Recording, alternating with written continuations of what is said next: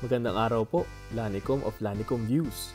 At ngayon naman, i-explore natin ano pa ang mga features na gamit ng XOS sa kanyang home screen.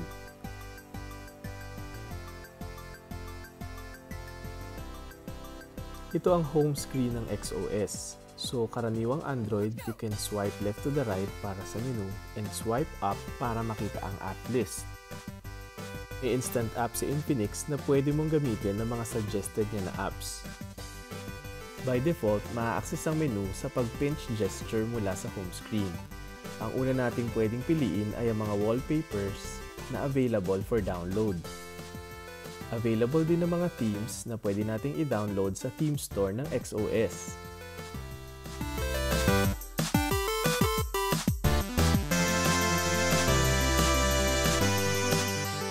Susunod naman natin i-access ay ang appearance settings. Ang una, ang kung paano ang animation ng pag-switch mula sa OS.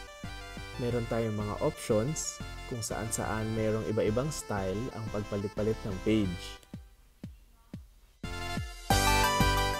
Next naman, pwede nating palitan ang icon size ng mga icons ng apps sa ating home screen makakapili din tayo ng grid design ng mga icons na makikita natin sa home screen.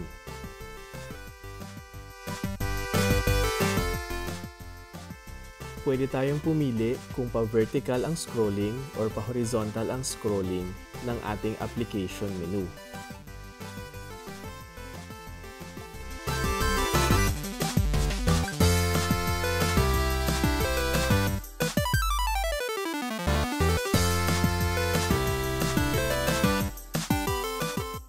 Meron din tayong option para pumili ng font color. Maaaring automatic, white, black, or pwede tayong pumili from array of colors na available. Punta naman tayo sa mga gesture settings. Mula sa home screen, may mga gestures na predefined na pwede nating assignan ng mga actions or applications.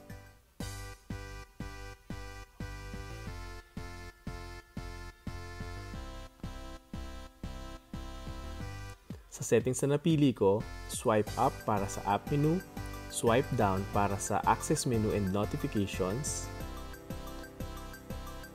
dalawang finger swipe down para sa Google Voice, dalawang finger naman pataas para sa search, clockwise rotate with two fingers para sa settings, at counterclockwise rotate with two fingers para naman sa notes at ang pinch para sa ating XOS settings. Ngayon naman, pumunta naman tayo sa launcher settings. Nandito ang appearance settings kung saan maa-access natin kanina yung pag-change ng appearance. Meron din options para i-enable and disable ang mga icon badges sa notifications. Nandito rin ang gesture settings kung saan na-access na rin natin kanina ang Smart Arrange kung saan automatic niyang i-arrange ang mga apps natin according to categories. Sa search settings naman, dito natin ma-enable and disable ang hot searches at mga searchable items sa ating search widget. Punta naman tayo ngayon sa other settings kung saan marami tayong ma-enable and disable dito. So unahin natin yung search bar kung gusto nating i-disable yung search bar na usually nakikita natin on top of the home screen. Dito din natin pwedeng i-enable and disable ang hot searches. Nandito rin ang switch para sa zero screen. Ang zero screen yung nakikita natin kapag nag-swipe left tayo from the home screen.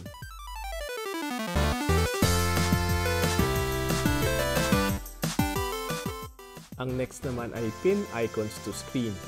Kapag naka-on ito, hindi natin mamamove yung mga icons natin. And kung naka-disable naman, pwede natin i-customize yung position ng mga icons.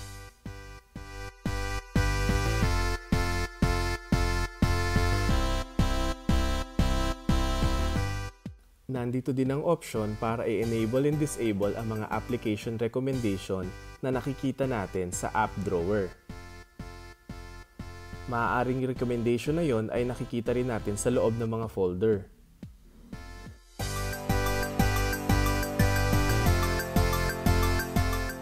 Ang infinite scroll naman ang option kung gusto nating naglo-loop ang icons natin or naglilimit ito kung nasa last page na.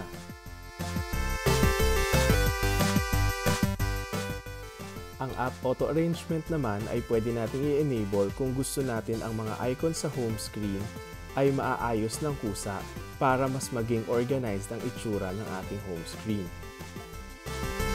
Next naman, ang blur option, kung saan magkakaroon ng blur yung ating menu or dun sa loob ng mga folder. Magkakaroon ng blur yung background or wallpaper natin. Ang next naman ay ang pag-enable and disable ng Freezer app kung saan pwede kang mag-store dito ng app na maaaring hindi mo ginagamit. Ang next naman ang switch ng folder scrolling kung saan pwede mo ma-access ang ibang folder by swiping left or right. Next, ang switch ng recently uninstalled apps kung saan maa-access mo ang mga previously uninstalled apps mo. Ang next naman ay ang switch ng Search Instant app kung saan ma-enable and disable mo ang pag-search ng mga instant apps. Ang next naman ay ang Instant App Switch kung saan ma-enable and disable mo yung instant apps na nakikita natin sa ating application menu. And lastly, ang switch ng Instant App Reminder. Kapag na-turn off natin to, mag-stop din yung mga notifications related to instant apps. So kung napansin nyo, ang daming switches and toggles sa loob ng XOS Launcher. And sa pag-explore nito, maaari nating makustomize ang ating XOS Launcher according to our liking. Maaaring matanggal natin yung mga hindi natin nagagamit or ma-enable naman kung ano yung applicable sa atin. Sana nakatulong ang quick guide na ito para mas madali nating maintindihan, ma-explore at i-customize ang ating XOS launcher. Again, this is Lanicom from Lanicom Views. Maraming salamat sa panonood. Request ko sana na mag-subscribe kayo and hit the notification icon para updated kayo sa mga susunod nating videos. Hanggang sa susunod mga ka-views. Paalam!